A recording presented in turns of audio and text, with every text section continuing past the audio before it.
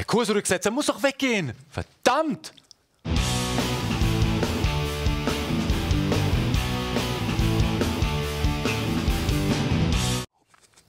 Herzlich willkommen zur 81. Sendung von Börsenpunk und natürlich starten wir sofort mit den Fragen. Was hältst du von Xiaomi? Xiaomi hat seine eigenen Smart Gottes Willen, Smart Glasses entwickelt. Ja, könnten so ungefähr aussehen. Nee, natürlich etwas innovativer. Mit diesen Smart Glasses kann der User telefonieren, Nachrichten anzeigen, ähm, er kann Fotos machen, Navigationsdaten sich anzeigen lassen und Texte in Echtzeit übersetzen. Richtig krass. Könnte durchaus eine Konkurrenz zu den Smartphones irgendwann werden. Bei Xiaomi finde ich richtig cool. A, darüber hinaus die exzellente die exzellente Positionierung im, im Handymarkt, ein super Preis-Leistungs-Verhältnis und darüber hinaus haben sie eine Beteiligung an Xiaopeng.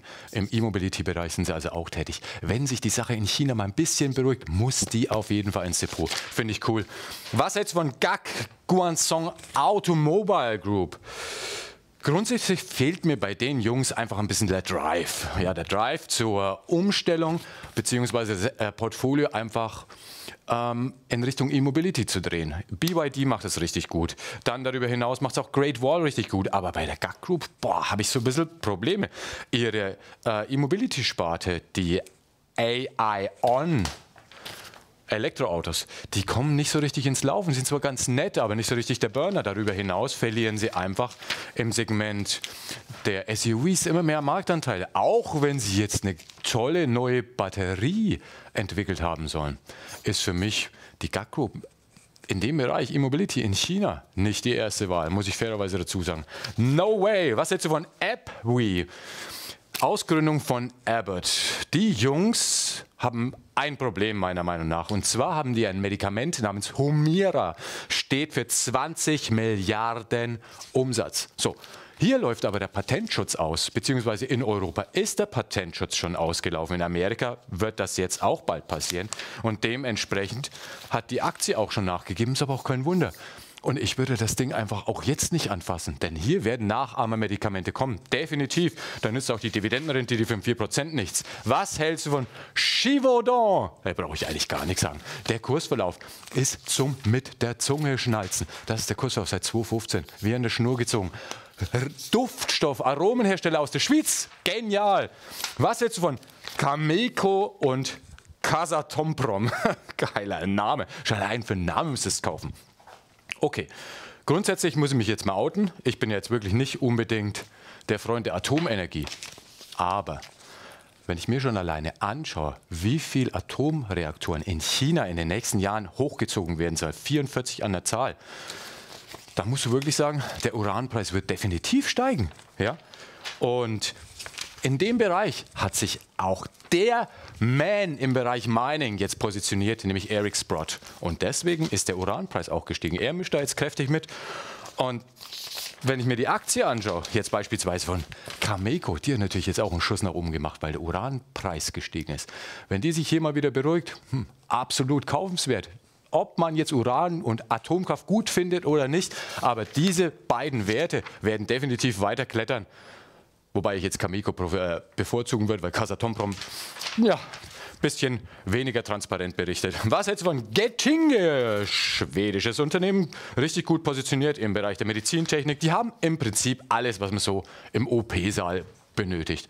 Und natürlich haben sie durch Corona eine Sonderkonjunktur erfahren, weil sie im Bereich der Beatmungsgeräte richtig gut sind. Hm, die ist auch gelaufen wie eine Schnur gezogen. Kann man halten. Richtig gutes Management, tolle Firma. So, dann unser Autorätsel. In der letzten Sendung haben wir gefragt, was fahren wir denn eigentlich für ein Auto? Muss ich gleich mal spicken. Hm, äh, eine grüne Ente, ein E-Porsche. Jungs, ein E-Porsche kostet 150.000 Euro, seid ihr wahnsinnig. Äh, der E-Mantor, nee, sorry. Äh, Trabant schließe ich aus, das stimmt. Es gibt nichts Besseres als Lambo. Sorry, wir fahren mit einem Lambo durch die Gegend. Okay, und ja, hallo Jochen. Ich glaube, du fährst einen Multivan, einen Bulli. Wenn ich recht habe, bitte einen Blick auf Zarens.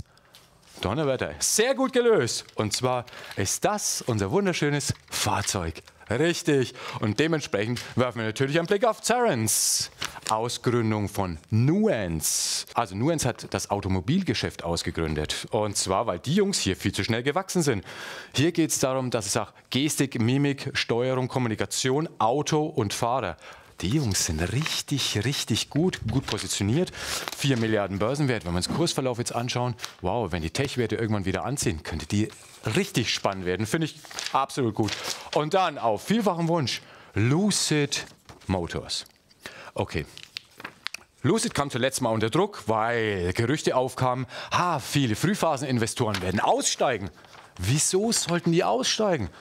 Die Gerüchte, natürlich wollten sie die Aktie drücken, aber nochmal, ich bin nach wie vor super überzeugt von dem Team. Rawlinson, Hochholdinger, frühere Manager bei Tesla, die werden das Ding durchziehen. Ganz schmerzbefreit. Und jetzt wird diese ganze Kiste auch sichtbar. Nämlich, die ersten Modelle werden ausgerollt. Jetzt gibt es Testergebnisse, schon Vergleiche, Testfahrten im Vergleich zu Tesla Modell S.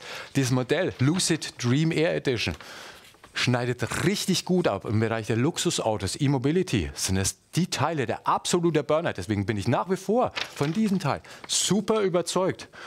2022 werden die Modelle auch nach Deutschland kommen. Und durch die Sichtbarkeit, die Vergleichbarkeit sehen jetzt auch die Analysten, aha, hier wächst was richtig Großes. Es wird auch eine Produktionsstätte in Saudi-Arabien geben.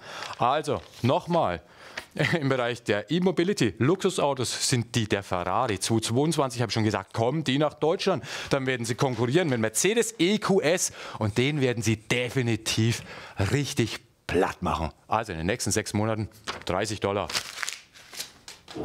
An der Börse ist ja immer so diese saure Gurkenzeit angebrochen. Nichts geht so richtig nach oben. Und wir haben uns überlegt, stellen wir trotzdem eine spekulative Geschichte vor. Ja, machen wir, aber Aufsicht. Nicht heute kaufen, morgen, morgen reich. Funktioniert sowieso nicht. Aufsicht.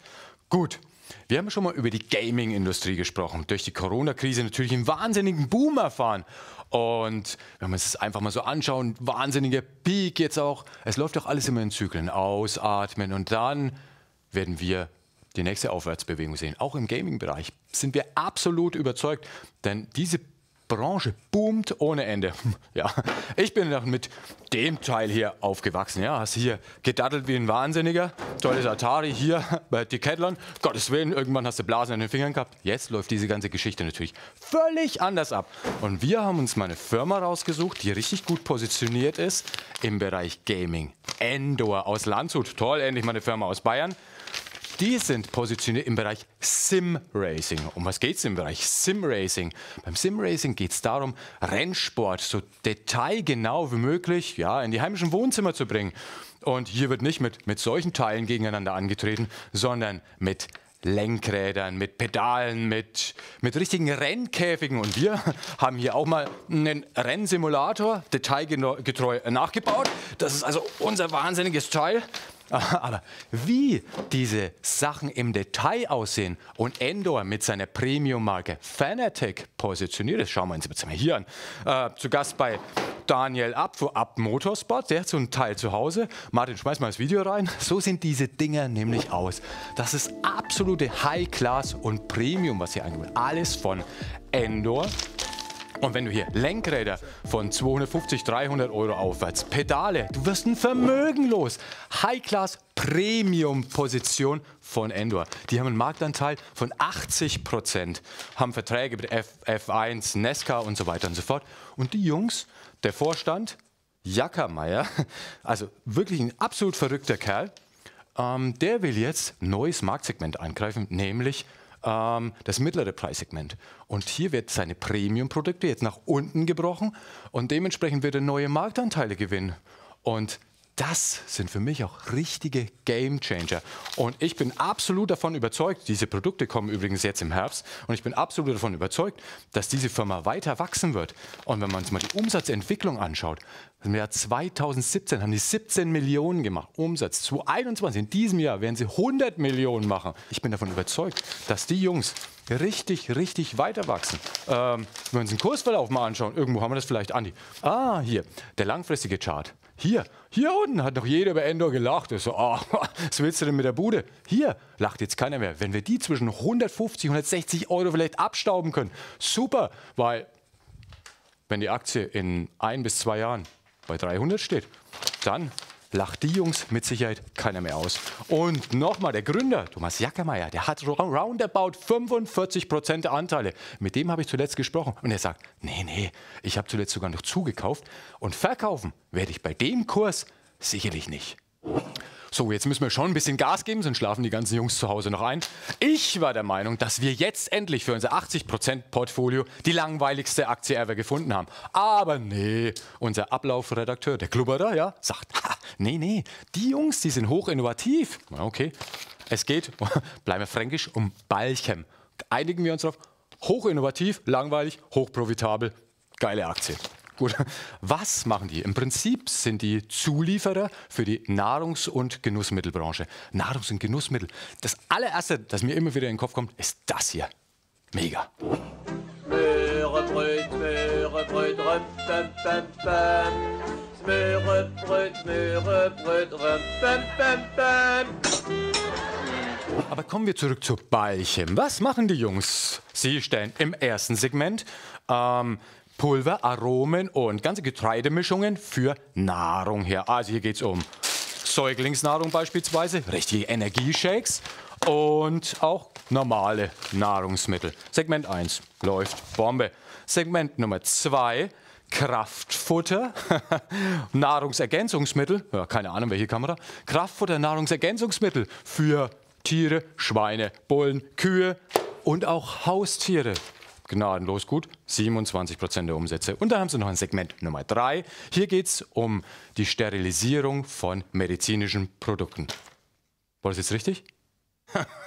Muss ich mal an Bruno Labbadia denken, den ehemaligen Fußballstar. Das Ganze soll man jetzt nicht so hoch sterilisieren. okay, aber zurück zu unserer tollen Ballchen. Die Jungs sind richtig, richtig gut in der Spur. Die Kursentwicklung zum mit der Zunge schnalzen. Seit 1985 hat die Aktie 25 Prozent im Schnitt pro Jahr zugelegt. Der S&P, der Vergleichsindex, 10 Prozent. Richtig gigantisch. Darüber hinaus eine wunderbare Dividendenpolitik. Seit 2011 von 18 Cent auf 58 Cent gesteigert. Jungs, was wollt ihr mehr? Zum mit der Zunge schnalzen. Wenn ihr das erste Mal die Sendung schaut, kauft die Aktie als eure erste Aktie und lasst sie liegen. Und ich verabschiede mich jetzt mal in meinem neuen Wohnmobil. Endlich mal eine Woche in Urlaub.